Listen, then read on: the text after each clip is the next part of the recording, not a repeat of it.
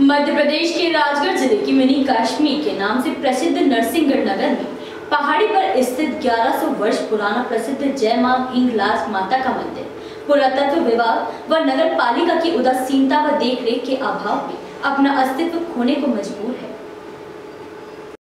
का कहना है मंदिर में श्रद्धालुओं के लिए पीने के पानी की व्यवस्था, साफ़ सफ़ाई, दीवारों का जर्जर होना जैसी व्यवस्था के लिए नगर पालिका भोपाल विधायक आदि लोगों को कई बार आवेदन दे चुका हूँ, लेकिन आज तक कोई सुनवाई नहीं हुई है। यदि ऐसा ही चलता रहा तो कई मंदिर मठ अपना अस्तित्व खो देंगे।